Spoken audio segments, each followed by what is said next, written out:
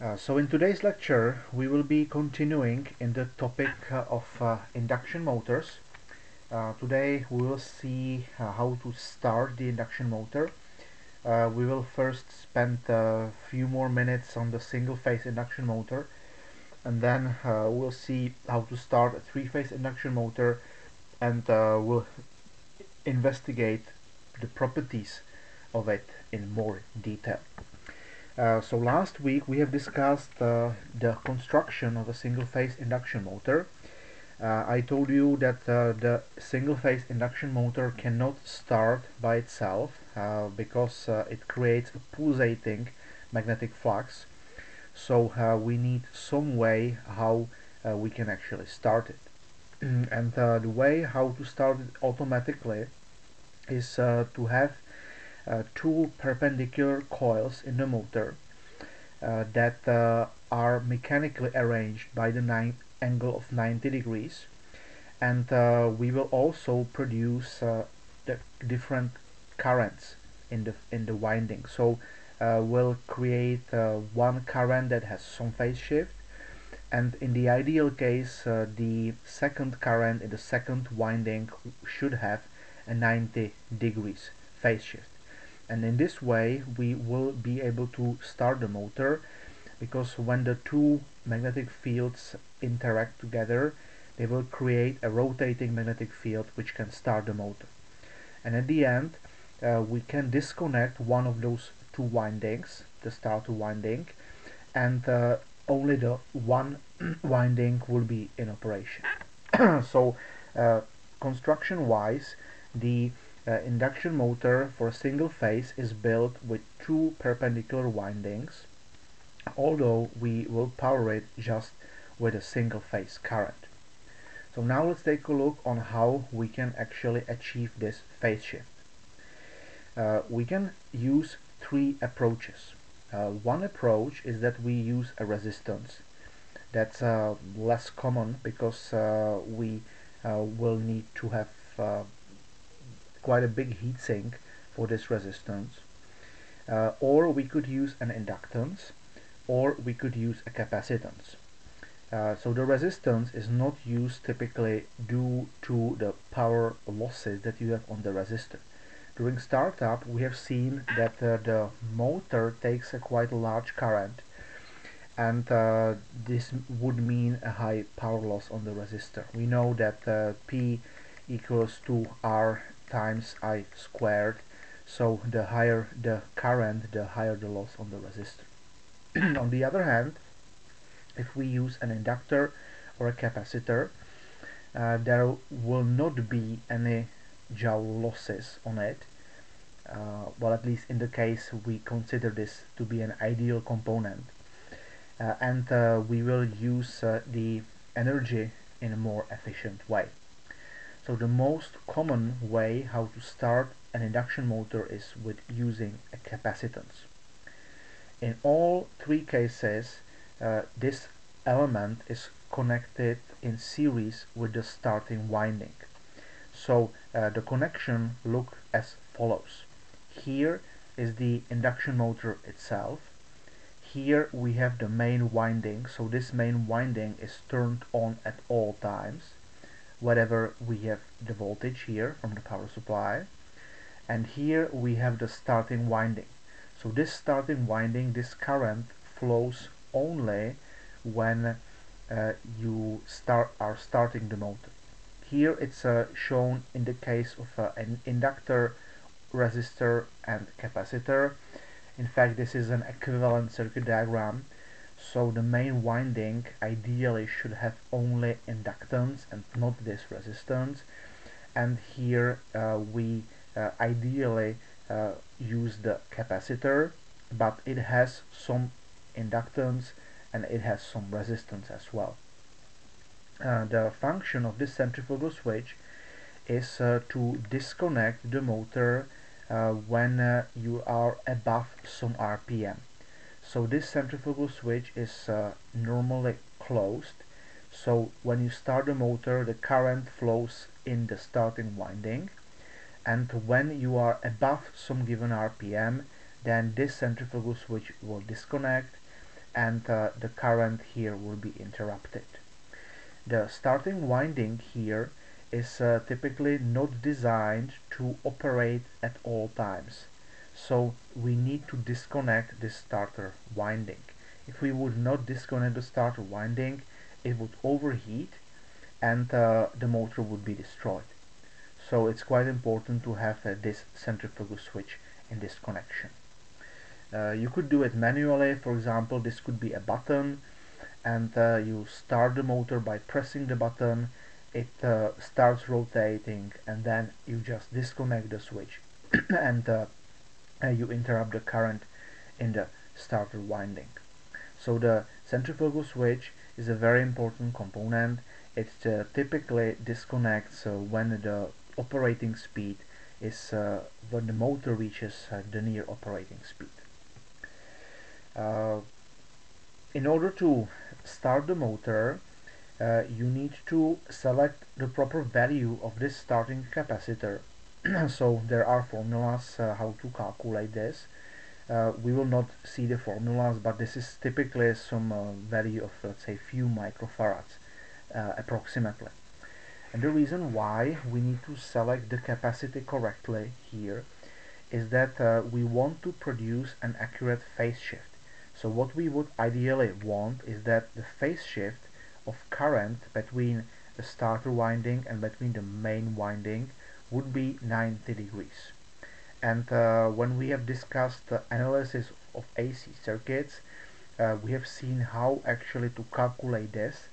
Uh, it is this is a circuit where we have an inductor, where we have uh, a capacitor, and uh, it's possible to calculate uh, the capacitor in such a way that we are approaching this uh, 90 degrees. So this is the analysis of the AC circuit.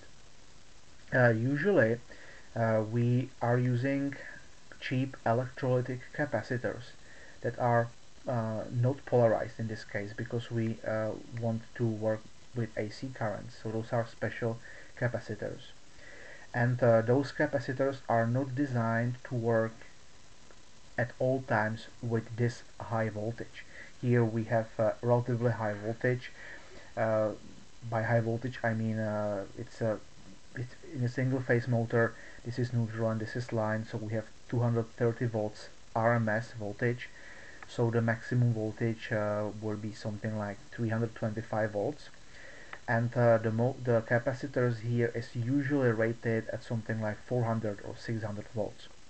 So it's also a mechanically large capacitor uh, and uh, it is not rated to work with this AC voltage for forever. So uh, it's only for a short period. And again this is the goal of this centrifugal switch to make it start. Uh, here is what will happen in a sense of uh, the torque speed characteristic. So this is how the torque speed characteristic would look like if uh, you operate it in single phase mode.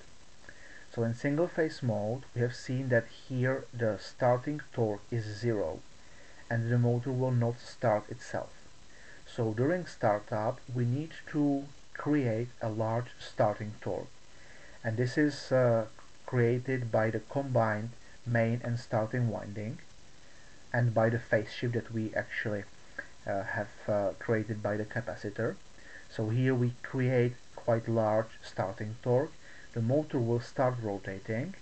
It is following this curve in the torque speed characteristic. So now it's acting like we could call it two-phase motor. And uh, here is the action where the centrifugal switch will disconnect the starting winding. So uh, it is set to disconnect when we are above some given speed uh, we need to be above this speed at the maximum at the maximum torque. Because I told you that here at this region uh, the, the motor does not operate in a stable mode and uh, we need to be in this part of the curve. So somewhere here is where the centrifugal switch will disconnect and then with the torque speed characteristic will jump to the single phase mode which is here. And the motor operating point is somewhere in this region in the linear region of the torque speed characteristic. And you can see that uh, when we switch to the single phase mode uh, we have a smaller torque available because we have just uh, the magnetic field from a single phase. So single phase induction motors are typically used uh, for smaller appliances few hundreds watts for example maybe up to one kilowatt uh, not not more uh, because then the current that uh, you take from the power network from single phase would be too high. Uh, it's not saying that they are it's not possible to have a larger single phase motor but it's not very common. Uh, let's compare um, the construction of this single phase motor with uh, something else that will be called uh, a shaded pole motor. Uh, I will show you briefly the construction. It is also a single phase motor but uh, it, it is more economical. It means that uh, you have a cheaper motor because uh, you don't need to have two windings in the motor and you don't need to have um, a starting capacitor.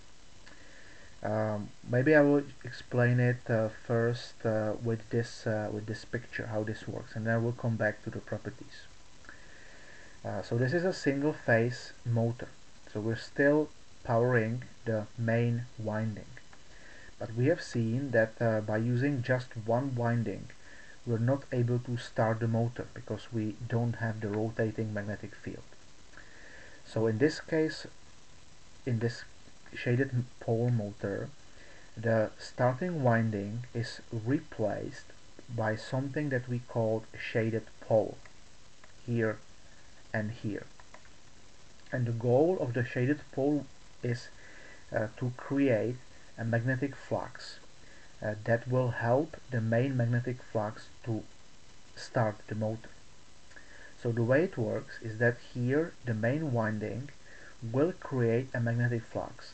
The magnetic flux is flowing in the iron like this and through the rotor of course. And uh, it is also inducing some current in this winding and in this winding, in the shaded, in the shaded pole winding. Uh, this winding is uh, short-circuited so there will be some current flowing here in this winding and in this winding as well. Since this current was created by induced voltage there will be a phase shift and uh, in the ideal circuit the phase shift between voltage and current if it's an inductive load that will be 90 degrees. So we will have 90 degrees phase shift between the main current here and between the current that is actually flowing in this shaded pole winding. And this current this winding will create its own magnetic field as well.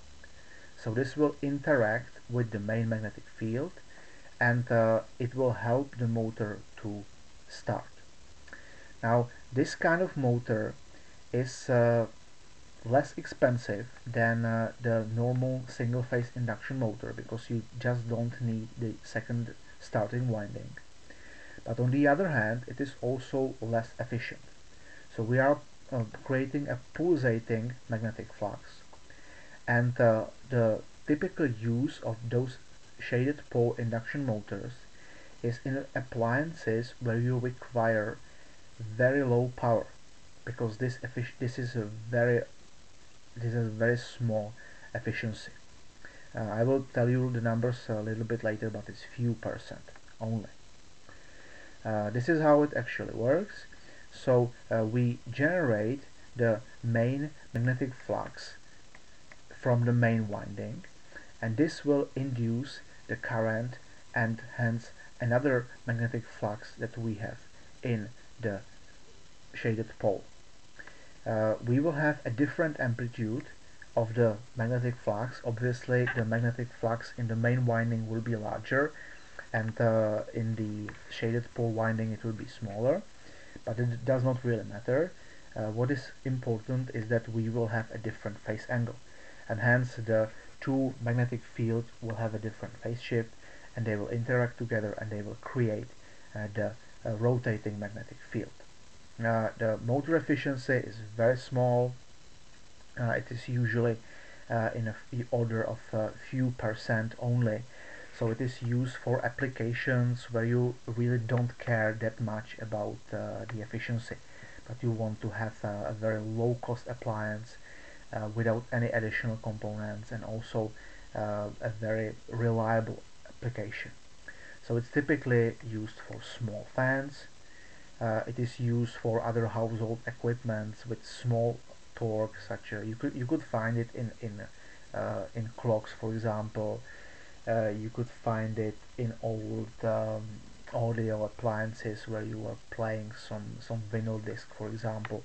So all this all this uh, was uh, using this kind of um, single phase shaded pole motor. Uh, let's take a look on how the motor is looking like. So we can typically uh, find that it's looking like this here is the main winding so this is uh, powered by single phase current uh, here we have a squirrel cage rotor so again no winding it's just a piece of aluminium and it's forming the squirrel cage it is similar to the one as we have seen in the three-phase induction motor now this core is the magnetic circuit. It needs to be made from iron. Uh, it can be laminated in order to decrease the losses. Uh, it uh, can be also a solid piece of iron because here really we don't care that much about the efficiency. Uh, the typical power where you may expect this kind of motor is few watts. So you're looking for a motor that has 5 watts, 10 watts, 20 watts at maximum, something in this order of magnitude so it's not like a kilowatt motor definitely not uh, and here you can see the shaded pole so this is a pole in the iron circuit and this is the copper wire this is the shorted coil. It's usually like uh, two three turns of a very thick wire you can see here the shaded pole and here the shaded pole as well. So as the magnetic flux is flowing like that it will induce voltage here in this winding and in this winding and it will help the motor start. Now this is a motor uh, from a household fan. So it's a very reliable stuff you don't require any capacitor that will dry in time. Uh, and uh, the only only thing that uh, basically can be destroyed is the bearing here or you could destroy the, the main winding due to some overcurrent overheating for example. Okay uh, some more pictures of the motor. Here you can see that this is laminated iron. So again this is the main winding. Energized at all times. This is the shaft here with the bearing. Here is the squirrel cage rotor we can see a little bit here of the rotor material so here this is the slot. And this is the slot where we have actually the bars from aluminium. And uh, here we can see two turns of uh, copper wire. That's the shaded pole winding. Here in detail how this looks like when you remove the motor. So we can see nicely the lamination we can see here the, this uh, this turn goes like this and then is going in the other one and like this and then they connect together. So this is really a very simple stuff mechanically. Uh, we can see that this point this uh, this uh, piece uh, was used to just fix the core together. So it after this is aligned they press it in the press and this this and this will fix uh, the material together. So it's a really easy construction uh, very reliable but low efficiency low cost. Okay um, so that's all for single phase induction motor. And uh, now uh, we'll be talking about uh, the properties of uh, induction motors in general. And uh, we will focus on different groups that you can find on the market on the properties and uh, on the ways how you can actually start the induction motor let's repeat this chart we have seen this chart now many times now so this is the torque speed characteristic. Now this is a three-phase induction motor. Uh, here we can see the dependence of torque on speed. Again the nominal operating point is here. So somewhere here we will have the nominal uh, torque that uh, we have available uh, during operation. uh, the speed difference between the synchronous speed and this speed is the slip. Uh, we can see the power factor, how is it evolving. So initially uh, we have a quite small power factor and uh, then it is increasing and then we are somewhere around here with the power factor. So typically the power factor of a induction motor operated at nominal point is about 0.8. Uh, so here it acts like a really inductive load, here it's uh, less inductive, it's more resistive load in this case. And we can see also the current, how is it evolving. So typically the full motor current is somewhere around here and uh, during startup here we have quite a high current so this is quite typical between 3 to 7 times the starting current uh, compared to the full current load. So for this reason you also need a different circuit breaker if you are using motors because motors during startup will take quite a high inrush current. Uh, we'll see later how we can actually uh, limit this startup current. We'll see several ways how this can be done. Uh, this is an example of uh, the efficiency of uh, an induction motor. This is an example of an efficiency map from a 2007 Toyota Camry hybrid motor which uses uh, an induction motor. Uh, we can see the typical regions. Now typically the motors are arranged in such a way that at some region that we will see here in this region they are operating in um, maximum torque mode. So constant torque is available here in this region. And uh, at this region uh, we are operating it at constant uh, power mode. So if you plot the chart where uh, you will have uh, the uh, speed here and here we will have power torque and power then uh, typically it looks like this. Initially you have a constant torque that is available and then you have uh, decreasing torque but uh, you have constant power. So if you plot this, uh, if I will now add uh, the power in the chart, uh, then it looks like this. Here I have increasing, or this should be linear, sorry for that. And here I have constant power available. This should be again flat line constant power available. And this is visible here. Here in this region uh, we have constant torque and in this region uh, we have constant power. And the reason is that we want to save weight. You can surely design a motor that will operate in this whole region with a full torque. But uh, typically for traction applications this is not required at all. Above some given speed uh, you just want to have constant power available so you can go with drop of torque that actually you don't need anymore. And here we can see that the efficiency of the electric motor is changing. It is a function of uh, current it is a function of uh, speed. So uh, if this would be a fixed speed application for example let's say conveyor belt uh, you ideally would position the motor operating region somewhere around here because here we have the maximum efficiency. You can see here approximately the, the numbers so in this case it's 92% it's quite typical 92 93 something in this range.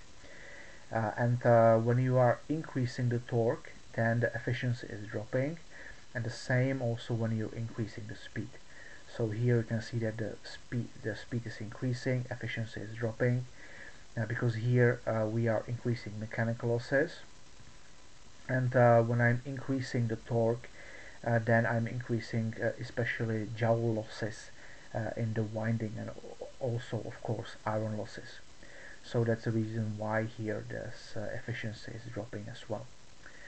However if this is a variable speed application such as an electric car or some electric motorbike then uh, typically it's operating in this whole efficiency map. So it depends on the driving cycle and actually if you are dr driving with low speed but high torque for example uphill you have a quite low efficiency. Now this does not start uh, in this chart we don't see the values at the very beginning but obviously the efficiency here is zero. When you have uh, zero speed but you're applying some torque you don't have any output power so this chart goes all the way to zero at this axis and it goes also all the way to zero here because uh, you don't apply any torque. So we can see how this is dropping. Here we have something like 80 percent um, it may be 60 it actually depends on the motor construction. So when you have an application you need to think in advance at what speed range it will be working and then select a suitable motor uh, now let's take a look on why uh, we actually uh, need to have some info about efficiency of uh, motors. So this is a chart from uh, 2011 and uh, here we see what is the global electricity demand around the world and what applications are actually using this energy. And we can see that about 46 percent of, the, of electrical energy that we produce is is uh, consumed by electric motors. Uh, about 20% for light, about 20% for uh, for heat, and the, the, the rest electronics and eventual electrolysis for for chemical production of many materials. Uh, so th this means that almost about one half of all energy that we produce is consumed by electric motors. So, Hello. Uh, uh, yes. I want to ask, you talking about the motors 46%. Uh, is it industrial? Like application? Yes. Is it mostly industrial? Yes, industrial, yes. Yes. This is not household, uh, obviously. Okay. So in, in industrial systems, uh, households are quite different. In households, uh, it would be uh, heat, light, and other stuff. Motors, probably not that much. So we need to have some standards that uh, now define what is the efficiency of the motor. Uh, so uh, globally, uh, a few years ago, like maybe 10 years ago, uh, many countries have adopted different standards uh, that define the efficiency of different motors and only some efficiencies with efficiency above something are actually allowed by law. So it's not a like a like a technical limit, but uh, it's a limit implied by regulations. Uh, so here we have four groups. It's called IE 1 through 4. Uh, here is the name, standard efficiency, and so on. And uh, here we can see what countries have adopted that at what time and at what power approximately. I will later show you the, the curve uh, for the uh, efficiency of the motor. Now what typically happens in the induction motors is that there is a quite strong dependence between the power of the motor and between the efficiency. If you have an induction motor with 100 kilowatts, it will be more efficient than an induction motor for 1 kilowatt, for, for sure. So for this reason the regulations as we have seen here are typically defined for some power and above. So for example for EU now uh, this premium efficiency class motor was adopted at 2015 and at that time it was applied for motors with more than 7.5 kilowatt of power and starting from 2017 it is even valid for smaller motors. And other motors that are not fulfilling those efficiencies are not allowed to be sold on the market. They can be still used if you use them in some production in a factory but if you want to buy a new motor uh, you cannot have these motors on the market uh, so we can see that this is increasing efficiency more and more. Now the, the goal uh, is uh, to have uh, higher efficiency.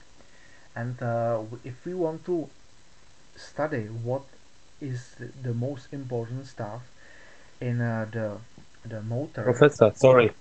Yes. Oh the last slide, um, when we say standard efficiency, do you know or high efficiency, what's the number? What's the number for that? Because it doesn't say exact numbers. Uh, yes, I will tell. I, I have a slide. I have a slide uh, a little bit later. I think. Oh, I will. I will. I will find it very quickly on the internet.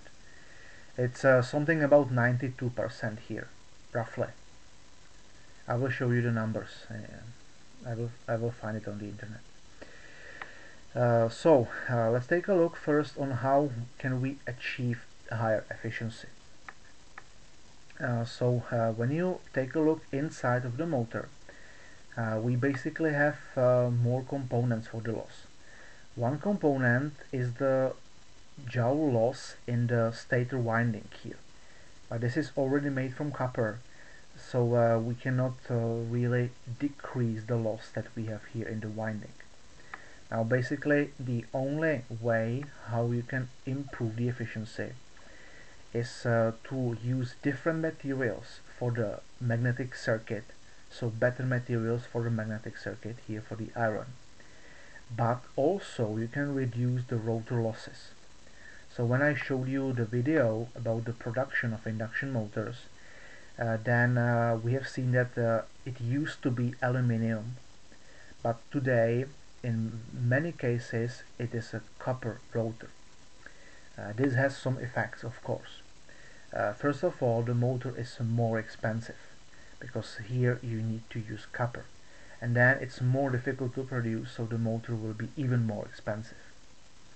Now the increase in price can be between 100 maybe 300 percent so you have a better efficiency motor but it uh, is uh, definitely more expensive motor. Uh, I will very quickly now uh, look for the for the numbers uh, for the for the motors. I did not uh, put that in the presentation.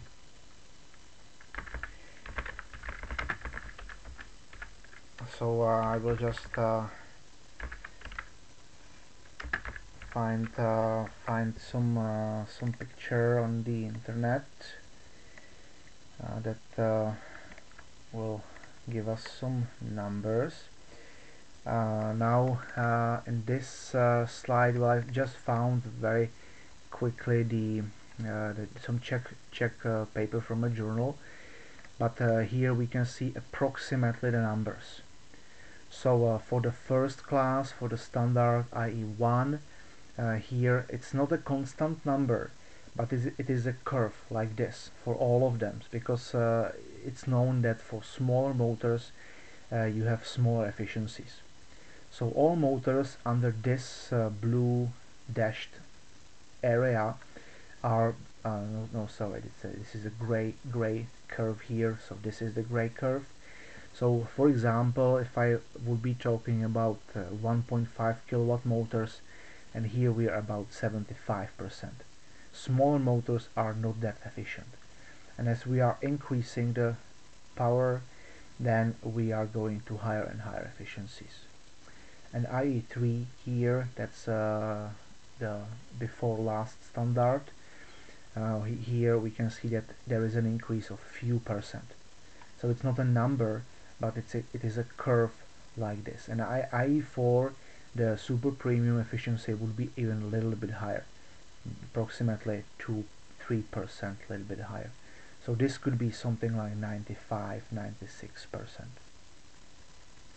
So based on the re regulation standards now you have only those smart motors available on the market. So this is a first criteria that you need to consider when you are selecting the motor for your application the efficiency now the second criteria is uh, for what Professor, application sorry. you will actually use. I have a question. Yes. So, for example, one industry in Europe used the old version of motors, and it has, uh, of course, uh, like efficiency less than uh, the standard, like the highest standard. Is it okay for that company to still use the old version? Well, they can uh, use it, but the they cannot sell it. So, if you have a factory, they, sell, uh, they, they, cannot sell. They, they cannot sell sell the motors. So they cannot even sell the old motors, right? No. It's illegal. No. They cannot sell it, but you can see here that this was adopted somewhere like like I don't know 15 years ago and there was a quite long time before this actually uh, was applied. So uh, if this was announced, I don't know, 2010, then they had time until 2017 to sell all the other all the old models.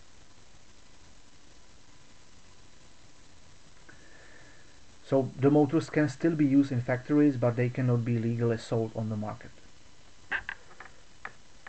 Okay, so uh, let's take a look here. Uh, the induction motor can drive many applications. It uh, can be used for an elevator, it can be used for a drill, for a conveyor belt, uh, for a crusher for rocks, and so on and so on. And uh, all those applications will have different requirements in terms of the torque speed characteristic. So when you are designing a machine, you need to have an idea about what torque where you will require. So this is such an example. Here uh, we have uh, the value of the speed basically, but here it's uh, it's shown like a ratio between zero speed and and uh, synchronous speed. So this is basically speed, and uh, this is the torque that we have available. Uh, normally the motor is operating in this region but during startup the motor may require for the application to provide higher torque. So there are four different classes called A, B, C and D of motors. They have a little bit different construction and uh, they, the difference is in the shape of the torque speed characteristic. So for example if you look uh, here on the class B you can see that this is a quite flat response of the torque and here the maximum available torque is uh, not that different from the starting torque. On the other hand, if we look on class D, we have a very large torque here available initially. So this is uh, three times uh, larger than the no nominal point. The nominal point, by the way, would be here.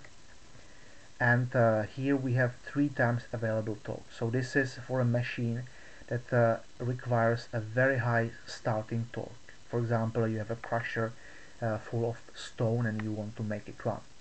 So here we have a large starting torque.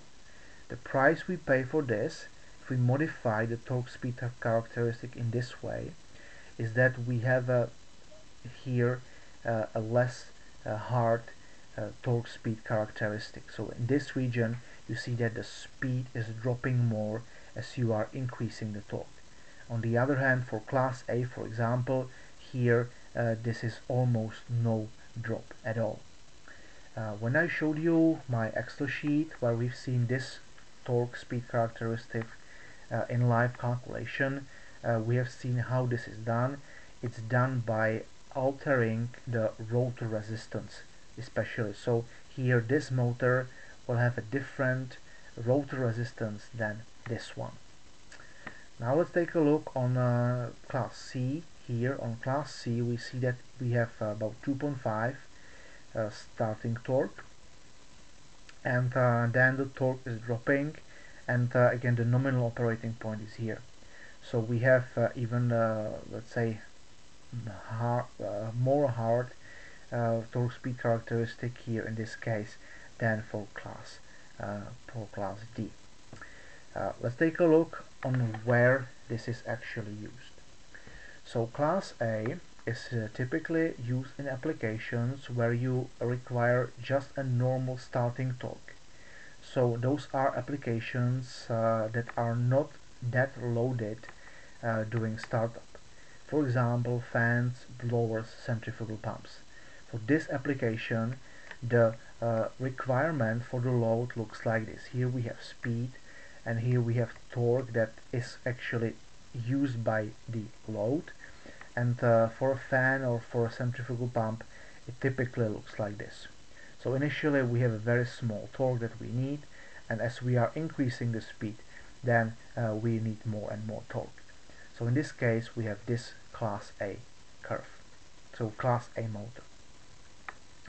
Now for some other applications that are similar, uh, we may want to reduce the starting current.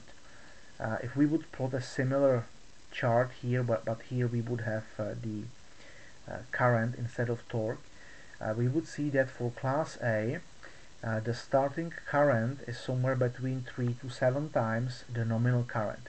So it's a quite large inrush current and class B motors solve this by changing the resistance of the rotor winding. And uh, here we can see that uh, this will decrease the starting current but the price for it that we have a somewhat smaller starting torque and also the maximum torque is a little bit small so this is for similar applications but uh, they, they would uh, the torque speed characteristic of the load would look something like this. So here we would require a larger starting torque. Now class C is uh, for applications that require a high starting torque and a low starting current and typically this is for compressors, conveyors, uh, pumps, crushers and so on. So in this case you already have some load that you need to overcome. You have uh, some crusher with stones that is loaded and uh, you need to have some starting torque here so to make it, the machine run. Uh, and class D is for the highest starting loads. So uh, you have applications such as presses, bulldozers, die stamping machines, anything that uh, really requires some huge starting torque initially. So here we have a very high starting torque and then we normally operate the machine at this region. So those four classes are available and based on your application you have to choose the correct class for the machine. Uh, so now let's take a look on the ways how we can uh, limit actually the startup current.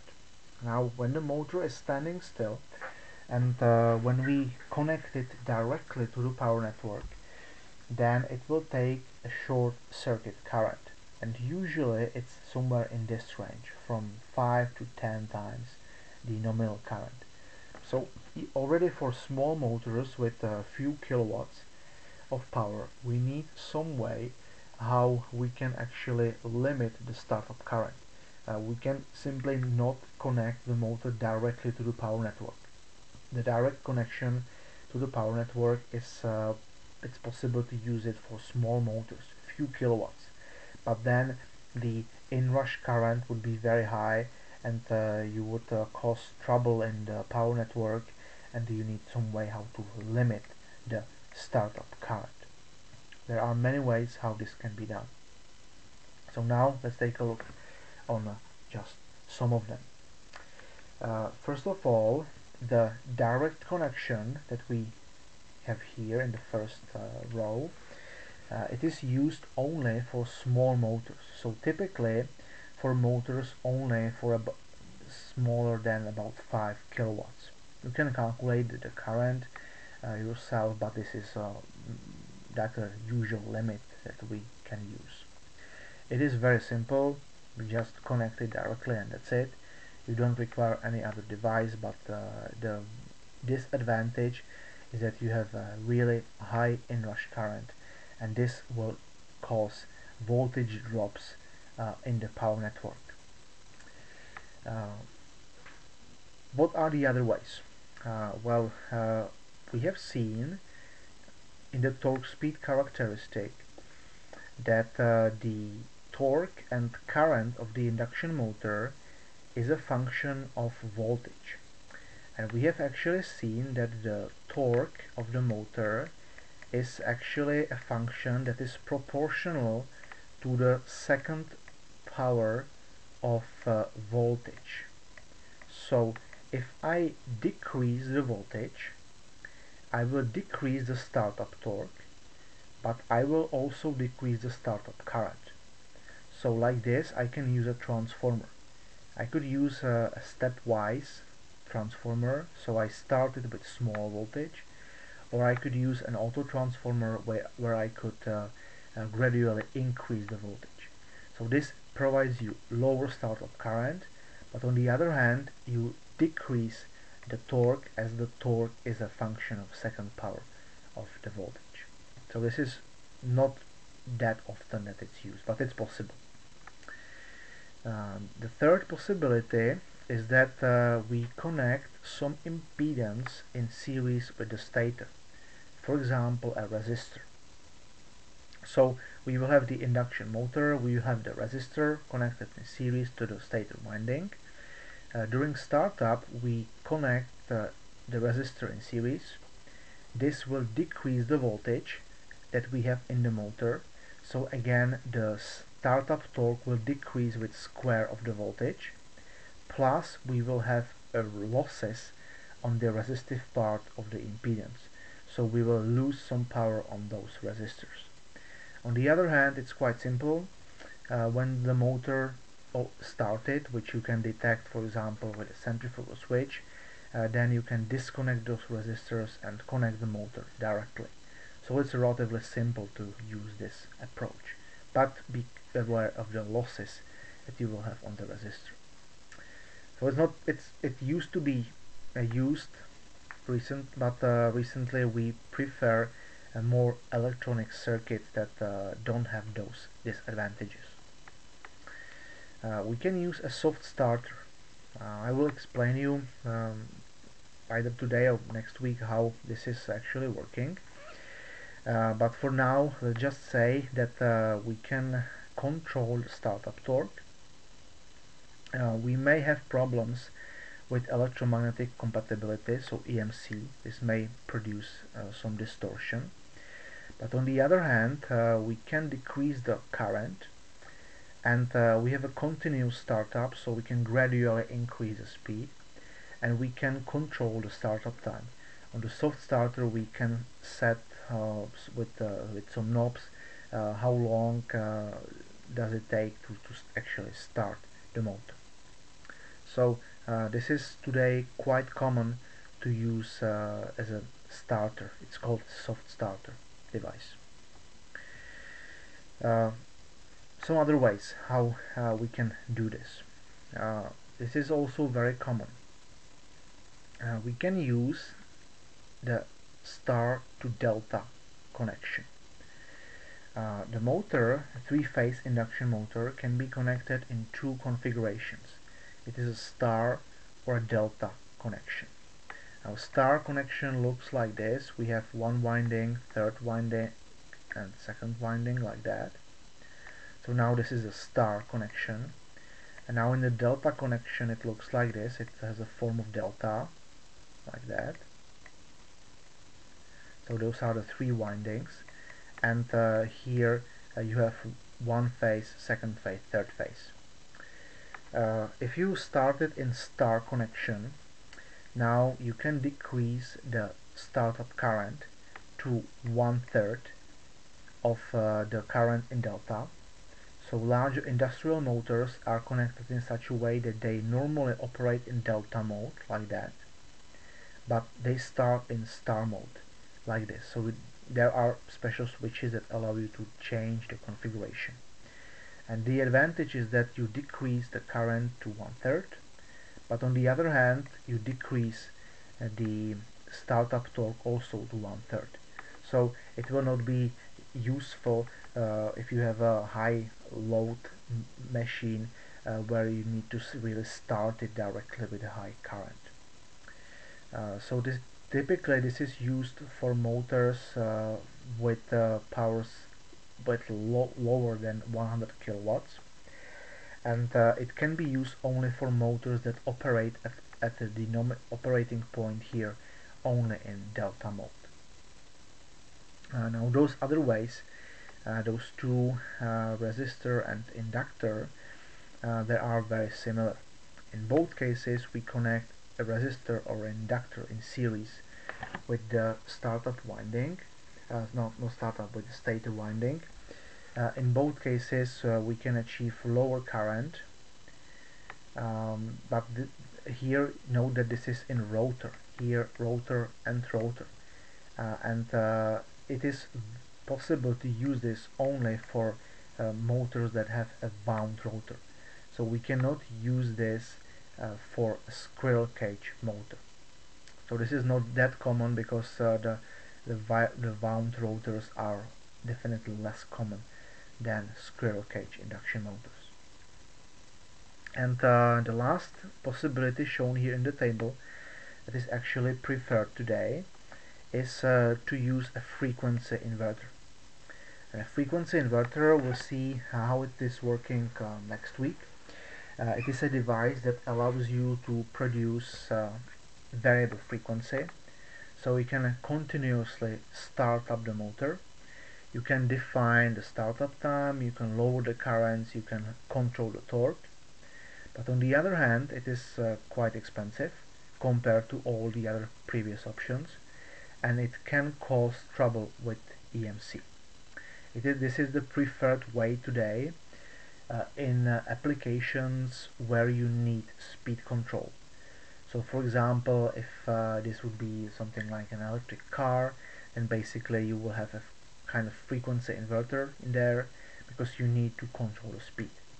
If this would be a conveyor belt with a constant speed, there is no reason to use a frequency inverter because of the expenses.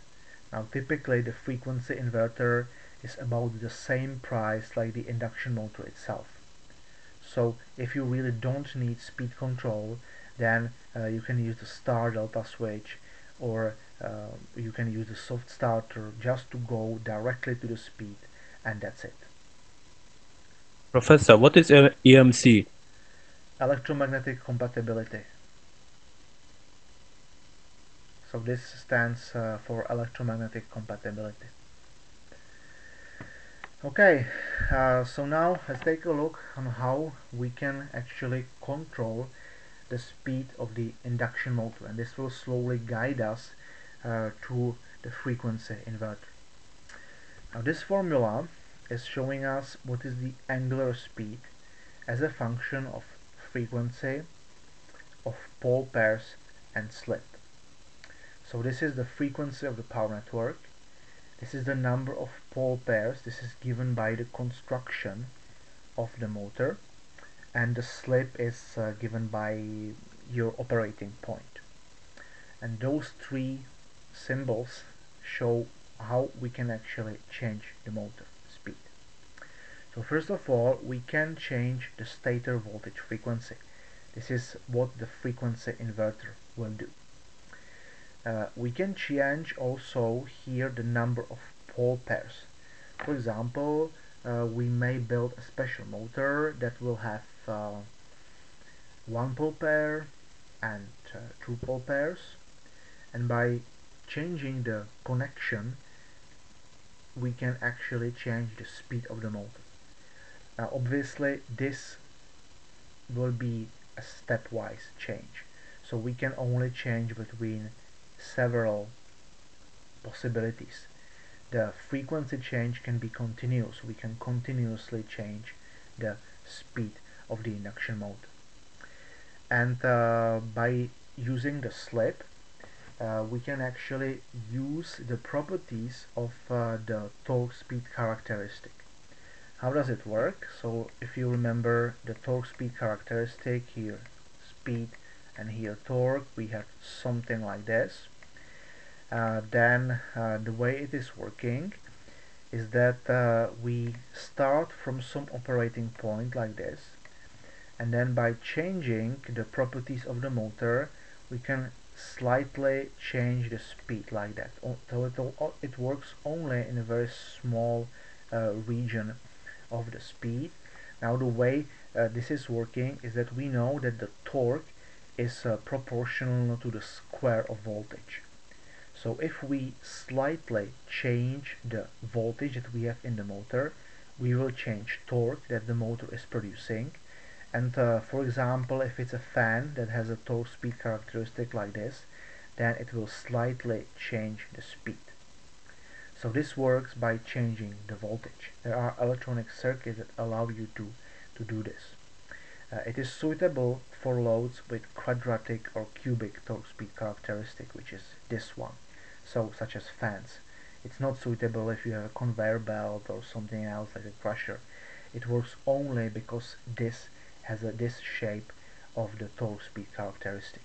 So if I decrease the voltage a little bit, I will decrease the produced torque and together with the load it will uh, increase, uh, so decrease uh, the available speed that we actually have. So this works only in a very small range. You can use it for a fan uh, to, to change the, the speed by, by few percent usually. Uh, this is uh, uh a more, uh, this is like a better uh, chart that I just showed you. so this is an example where you have the full voltage, 100% voltage, and here you change it to 50%, and this is the characteristic of the load. Uh, by using uh, this drop we know that the torque will decrease by uh, the, the second power of the voltage so four times. So this will jump to this uh, part of the of the torque speed characteristic.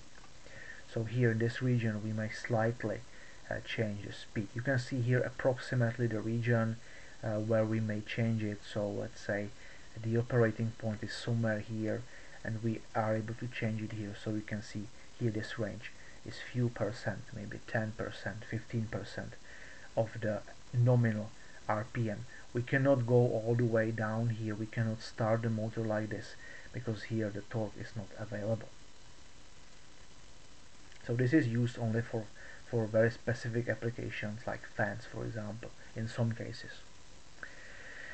Uh, if you have a special motor which has a variable number of poles uh, then you can change the, speed also stepwise. Uh, such a motor is shown here. So this requires a special construction of the stator of the motor. Uh, here you have an example between 4-pole and 2-pole motor. You can see that in the 2-pole configuration here uh, we have those two windings connected in series and those two connected in series now this is obvious this is uh, shown only for a single phase connection. So uh, the other connections uh, you would have to have this in series and this in series as well. Uh, now if you reconnect this you can create four pole arrangement so one two three four poles in this case. And if you go back to the equation uh, you can see how the, the speed will change uh, basically it's omega times here uh, we have the frequency and uh, here we have the number of uh, pole pairs uh, times some constant let's say right now. Uh, so you can see that this is a stepwise control. I can switch from two pole configuration into four.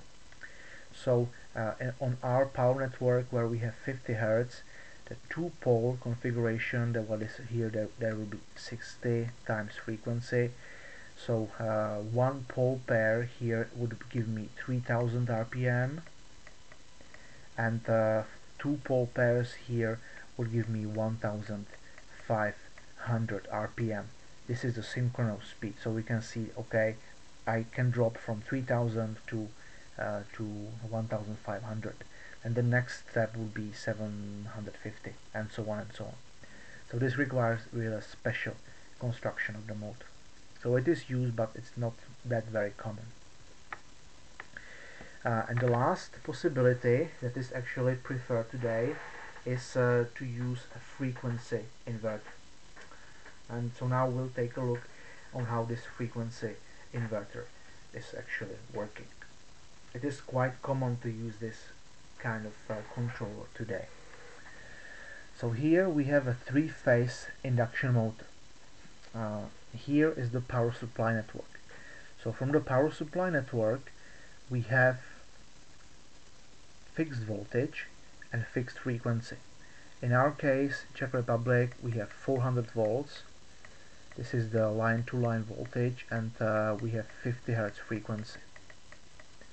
And if I want to control the speed of the motor I need to change the frequency of the current that I'm feeding into this uh, induction motor uh, what you see here is called a voltage source inverter. There are other topologies as well, but this is the most common one, and it's also the topology that is uh, most easier to understand. Now it has three basic components. Here we have a diode rectifier. The way this works is that I take this AC voltage, I will rectify it to have a DC voltage here. So now this part over there acts like a converter from AC to DC voltage.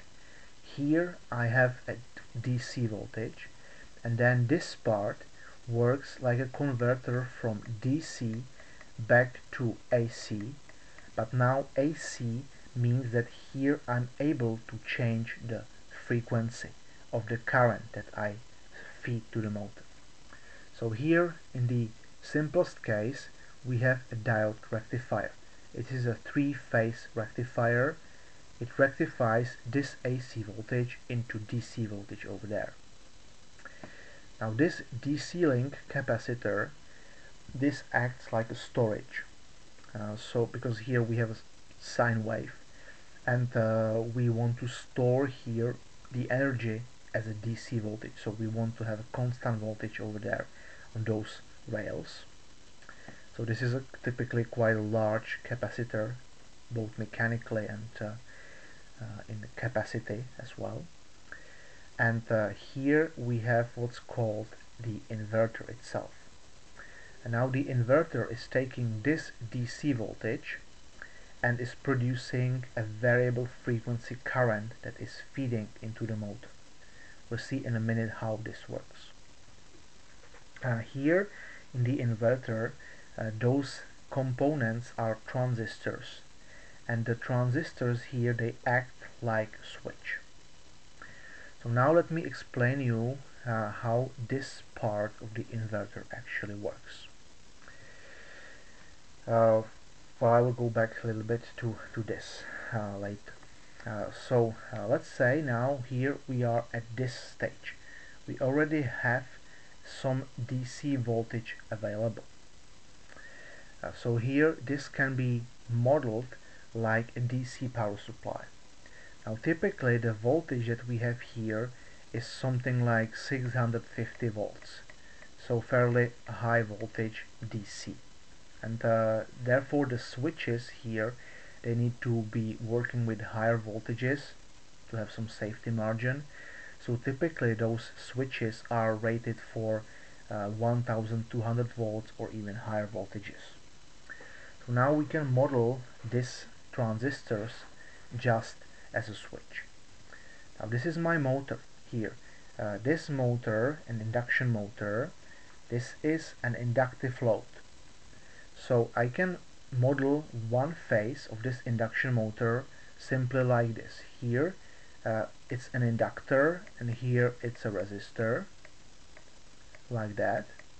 And now let's have just one switch that will be switching like this and here uh, we'll have plus and minus voltage. So this is a very simple model of an RL circuit. Uh, this switch actually is one of the switches that we have here in the in the inverter itself. So now what will happen is that we will control the switching of this switch.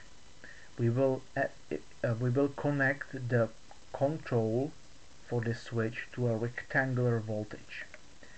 So we'll do something like this. Uh, we will apply a voltage that has this shape like that.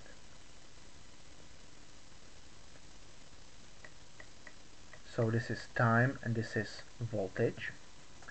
And now we will see what will be the current in my circuit. What will be the current that is shown here? So here this will be the current in the circuit. And uh, we know that uh, this will be a transient response now this will be a first order transient response. We have an RL circuit. So this response of the current will be an exponential function. And uh, let's say it will start from zero current. Now it will be an exponential response like this. Here we turn the switch off. So the current will decrease exponentially like this. Here at this moment we turn again the current on so it will be exponential. Here we turn it off it will be exponential like this and so on. So so far nothing very new. Now the new thing is that uh, we may change the duty cycle of this signal.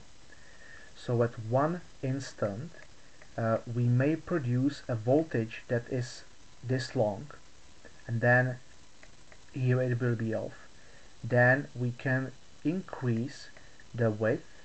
So this will be the, the period. T here will be two periods here will be three periods for example. So again this is t and this is voltage. Uh, here for the third period I can have it longer and then off and then longer again.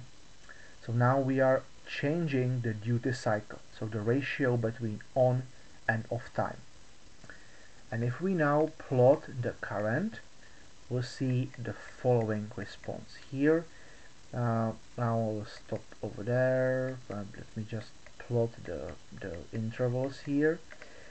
And uh, the current will look like this. Here I will start from this value. I will increase it. And then I will decrease it and it's zero. Here I will increase decrease increase decrease increase and so on so by changing the width of the pulse so by changing the on time versus on off time here I'm able to change the current. And if you calculate the average current you may actually find that it will be something like this. And if you change the width properly then this might be a sine function. So uh, at the end what we are producing as the current into the motor like this uh, can be a sine function. So it will be looking like this time and here is the current. Uh, we can change the frequency because if we modify this algorithm to produce let's say faster changes of the duty cycle then this could be a sinusoidal wave with higher frequency now obviously it's a little bit more complicated because here we need to control the six switches because we want to produce three currents. We need to, to have one current there, one current there and one current there.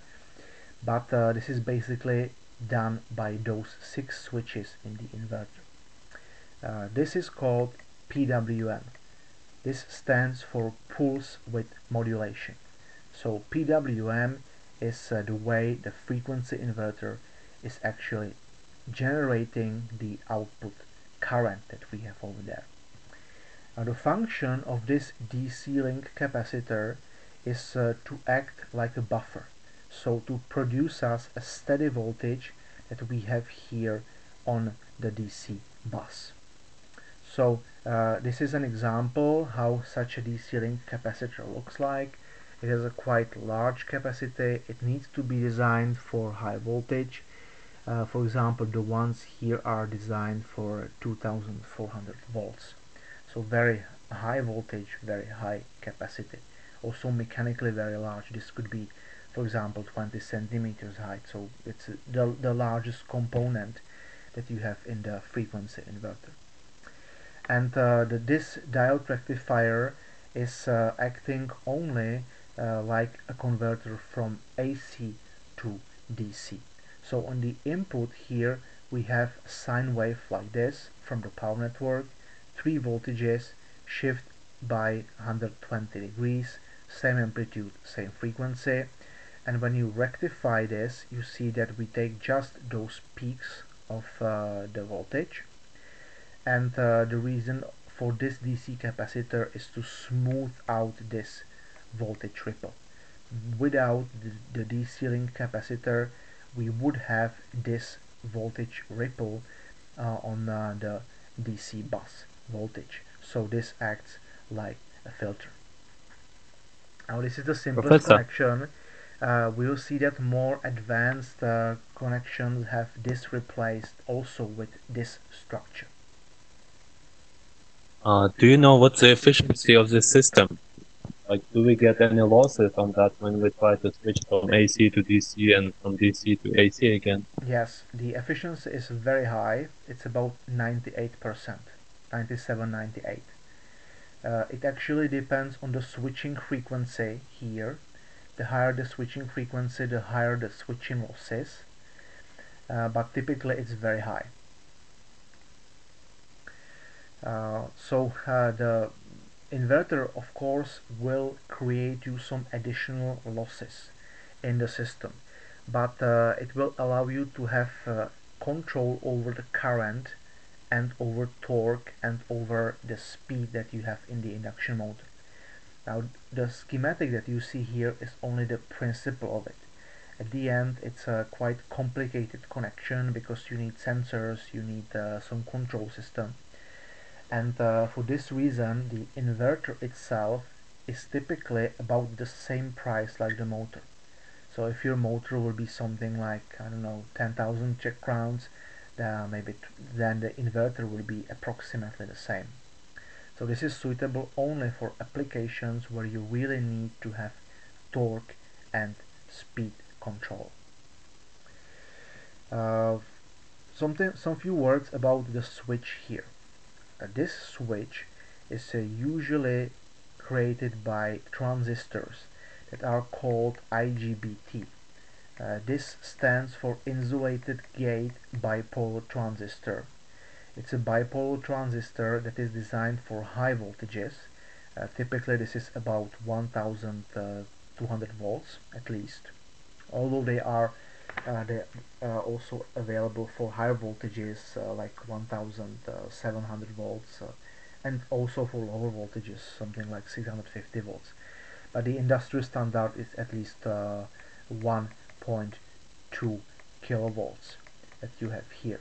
Uh, we are switching about 650 volts so the the other 650 volts approximately uh, is the safety margin uh, to save the switches. Uh, now here we have the switch, the transistor, and in parallel here uh, we have a diode. And the goal of the diode is to protect the transistor against uh, when when you disconnect the current through the transistor and also to provide uh, some path where the current can actually flow uh, when it's flowing like this. So this can be used like a generator as well. This could be a generator and then through those diodes it can go back into the DC link and then you can do something with the energy uh, that you have available. So uh, this can operate like a motor mode but it can operate like uh, a generator mode as well with one uh, with one modification which I will show you in a minute. Uh, so here let's take a look in more detail on the PWM that we actually do. Now the advantage of PWM frequency inverter here is that the switch operates only in switching mode.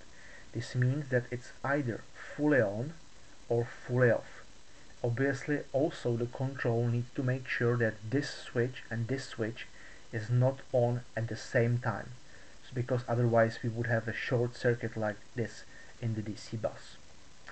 Uh, this is how the voltage looks like uh, when you measure it here on uh, the terminal of the motor. So for some period like this you have positive voltage pulses and here you have negative voltage pulses. Uh, you can see here uh, how the width is increasing so here we have very narrow pulses and here we're increasing the width and then we're decreasing it again. And here the same increasing width higher width and smaller width. And here is how the current will look like. So when we have applied the voltage for longer time we will have higher current here and during those narrow pulses uh, we apply the voltage for a, only a specific short amount of time and this will give us small current. Now this is the sine wave that you can actually increase uh, the, the frequency. So if you do this faster then you will have a higher frequency of the current. Now the limitations are the following. Now one limitation is uh, in the switching frequency of the elements. You cannot go to very high switching frequencies because the, the losses on the transistor are a function of uh, switching frequency. The higher the switching frequency, the higher the switching loss. And therefore you need to cool down all the losses that you have in the inverter. So also the efficiency of the frequency inverter is a function of uh, the switching frequency. If you double it, you increase the the, lo the losses. Uh, you can see here also this distortion. Now if you look in more detail, for example in this picture here, you will see a transient response during turn on and a transient response during turn off. So if you measure it on the oscilloscope, it will look like this. Now this is a waveform that I measured uh, on Monday on one of the frequency inverters that we are actually building. Uh, this is the current that is flowing in the motor. And uh, this is the voltage that is on the switch of the on the transistor. So this is the top transistor this is the bottom transistor. You can see that uh, when the top transistor is on here this transistor is off and so on. And here we could we could find that here this current is decreasing here this current is increasing. So this is a zoom on this region uh, on the, this sawtooth uh, waveform of the current uh, how can you use it uh, well uh, with a frequency inverter uh, you basically have a control over current and over frequency. So what you are doing is that you can freely change the current frequency and uh, this will give you a response in speed of the induction motor. So uh, the torque speed characteristic that we know will be different for different available frequencies. Let's say we have a motor that was designed for 50 Hz. So for 50 Hz we have this torque speed characteristic and uh, we are operating in a similar fashion like I already showed you on the efficiency map. Up to the nominal speed here we can use the constant torque so this is over there and then above the nominal speed we are uh, we have the constant power so this is uh, constant power mode and this is constant torque mode. You can, so you can see that above the nominal frequency we have higher speed but we have lower torque that is actually available.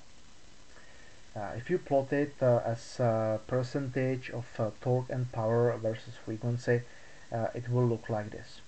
So we, here you have constant torque available and then the torque is dropping. And uh, here you have increasing power and here you have constant power. Now uh, here this is obviously like switching without any any transition. Uh, this is a, just a change of the control algorithm this way is called V2F control voltage to frequency control uh, we can change the voltage and the frequency and control the speed of the motor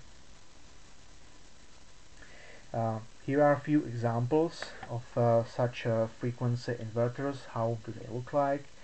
So uh, inside uh, there are those three components as you have seen plus some control circuits, microprocessor that controls all this. And then on the display you can see the actual frequency and uh, you have uh, some controls that allow you to change the, the speed and the torque and many parameters of the motor. Uh, here is a video uh, just take a look on that uh, how does it work. I will not run it right now. Um, some warnings before uh, you use uh, frequency inverters everywhere. Now uh, frequency inverters are not supposed to work with old motors. The reason is visible here in this chart. Now old motors are supposed to be powered with uh, sinusoidal voltage. So here we don't have a sinusoidal voltage. Here we have a very sharp pulses of the voltage that look like this so we have we have either no voltage or high voltage here and uh, this means that if you zoom out the, the voltage here this will be time and voltage and the voltage is changing from nothing to something like this very quickly. This change can happen very fast. Uh, for IGBTs this might be something like 1 microsecond for example 500 nanoseconds. And we're changing from 0 volts to 650 volts. So in other words we have a very high value of the rate of change. So dV over dt. And uh, this can cause trouble in older motors because older motors were not designed for that. And you may have issues with bearings and you may have issues with insulation I will explain you why uh, this is a sketch of uh, some motor uh, that uh, is like older motor and uh, we'll see what happens now if we connect it to the frequency inverter. Now if it's powered by a sine wave power then there is no problem at all. The motor was designed for this. So this, this is the stator winding, this is the rotor and this is how the magnetic flux uh, is uh, flowing actually. And uh, here we have the bearings. And the current can flow also through the bearings. Now in case of sine wave power this is not a big issue because this current is uh, very small or even zero because we have a very small rate of change of the current but what will happen is that uh, if we connect this motor to a PWM source we now have a very high uh, dV to dt uh, so uh, there will be additional currents that will be created. Uh, you can see the currents here. Uh, the sh one shown in red here is the stator to rotor current. So here it's flowing from the rotor through the bearing in the stator and it forms like a loop here. Uh, you will have also some current uh, flowing from the rotor into the shaft like this into the ground. And uh, you will have also currents in uh, the stator winding. So one current from the stator winding here uh, shown in blue will, will flow to ground. Uh, one current like this will flow through the bearing into the load and then into the ground. So here you will have the following issue with the bearing it's shown here. Imagine here the, the ball of the bearing this is the inner track this is the outer track and now there is a current flowing through that. And here at those edges the current will enter into the ball and, in, and into the track. So in time very soon this will cause you damage of the bearings because here uh, you will have uh, troubles uh, as the current will flow. So for this reason newer motors that are supposed to work with uh, frequency inverters they need to insulate electrically the rotor from the stator. So those bearings cannot be normal ball bearings with metallic balls but at least one of the bearings needs to have ceramic bearing ceramic balls. So those bearings are called sometimes also hybrid bearings. So this is a metallic track but this is not metallic.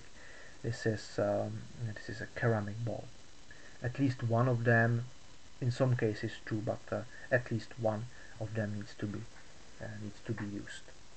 So that's a problem. This here uh, you can see uh, an example what actually happens. Uh, in, in, the bearing here you can see the damage uh, of, of the bearing tracks in time. So it, those uh, those lines uh, are actually created by the current that is flowing in the motor. Here you can see under the microscope what actually happens so like those pits uh, are crea created. And this is a this is the voltage uh, recorded from the oscilloscope uh, you can see that here we have a large peak and then basically like a spark that uh, jumps between the, the ball and the track and then it's discharged and this is uh, creating the damage of uh, this bearing. So be careful about this. Uh, you need to uh, either use a motor that is specially designed with ceramic ball bearings or you can use older motors that uh, use uh, something that's called a sine wave filter. And this uh, filter creates uh, sine wave voltage from the PWM voltage. We'll not go into details but it's also possible to use this. But this is more expensive. Uh, you need additional components. It looks like this. It's quite large quite heavy and so on uh, so the preferred way or how it's done usually is to, to use uh, this kind of uh, ceramic ball bearings as you can see here. Uh, some examples those are the ceramic balls. Okay that's it for today. Now we'll do, do model test. And uh, next week we will finish with a single phase commutator motor. And we will start the synchronous motors as well